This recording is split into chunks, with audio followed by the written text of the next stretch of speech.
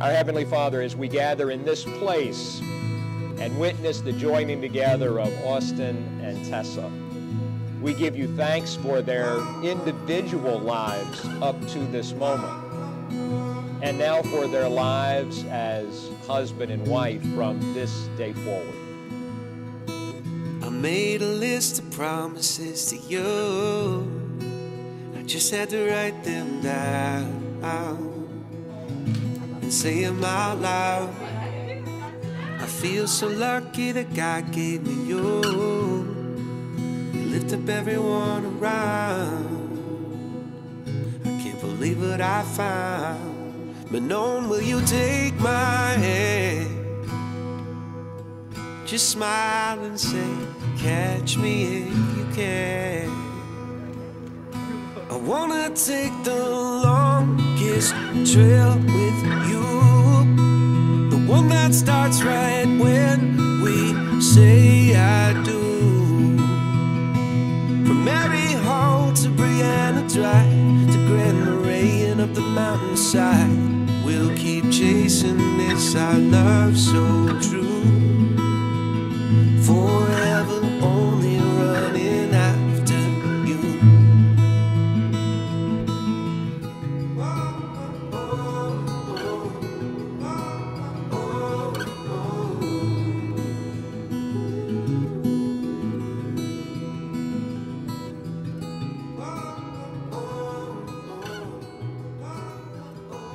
When I came to the church uh, that he and his family are a part of. Austin was four years old when I became pastor at uh, Heights Community Church.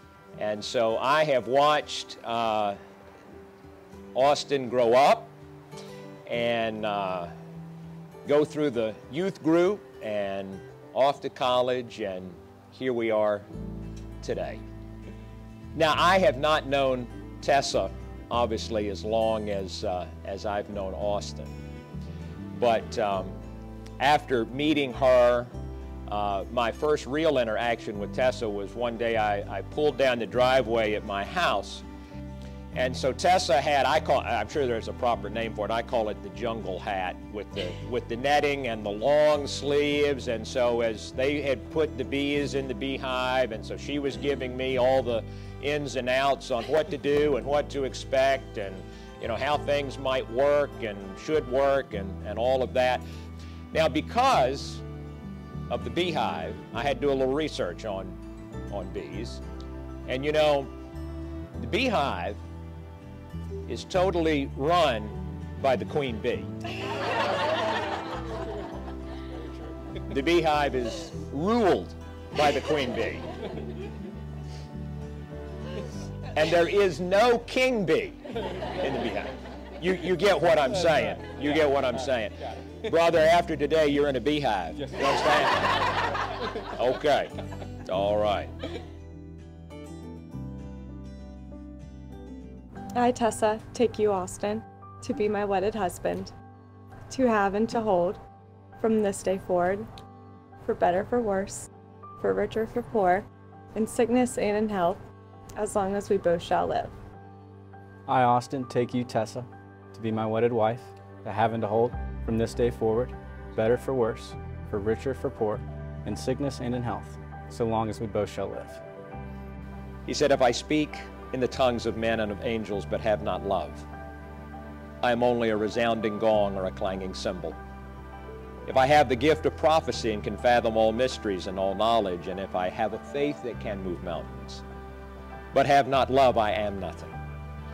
Love is patient. Love is kind. It does not envy. It does not boast. It is not proud. It is not rude. It is not self-seeking. It is not easily angered. It keeps no record of wrongs. It always protects, always trusts, always hopes, always perseveres. Love never fails. And so, Austin and Tessa, as you wear these rings, may they remind you of the vows and commitments that you have made to one another and before God this day.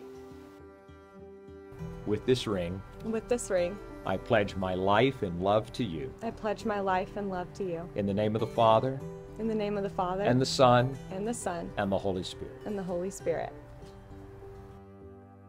With this ring, With this ring, I pledge my life and love to you. I pledge my life and love to you. In the name of the Father, In the name of the Father, and the Son, and the Son, and the Holy Spirit. and the Holy Spirit. Tessa and Austin, having witnessed your vows and commitments to each other and before God, I do, by the authority vested in me, by the Commonwealth of Virginia, and by the Church of Christ, pronounce you to be husband and wife. And Austin, you may kiss your bride.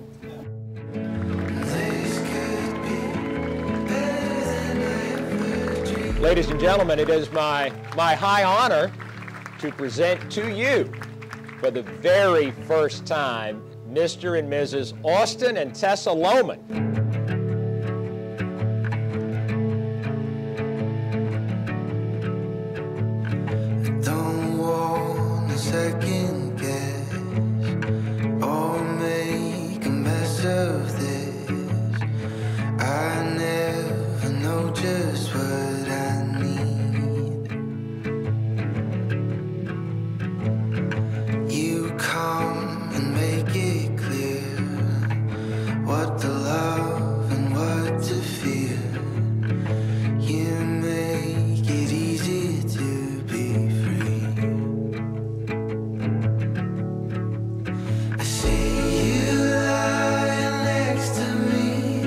Know, since I've been about 14 years old, me and Tessa have become very close. And uh, she calls me every single day now, and uh, I don't always answer. But I truly appreciate it. You know, it, it really means a lot to me.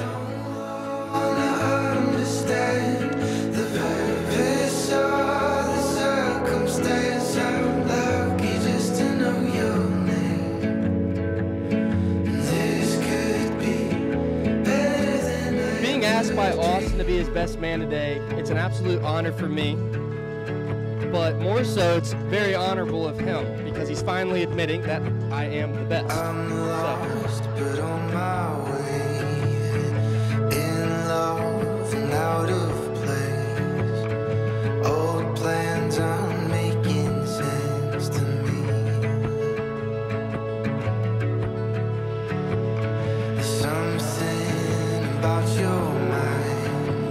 I'm not a fan of long speeches, so I'm going to keep this short yet strong, like my man Austin.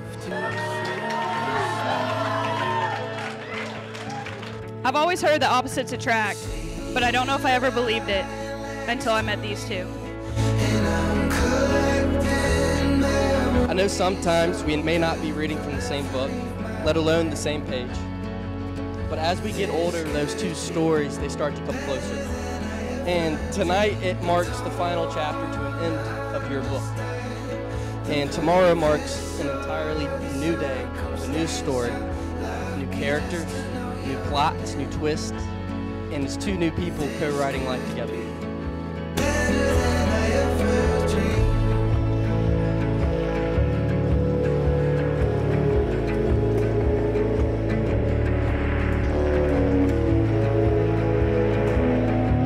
There's no better way to end this speech than with a quote from Austin's favorite show. Webster's dictionary defines wedding as a fusing of two metals with a hot torch. I think you guys are two metals, gold medals.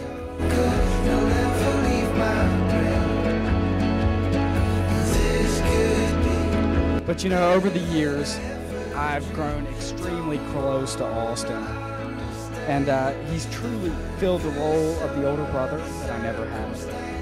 And I couldn't ask for anyone better to marry my sister.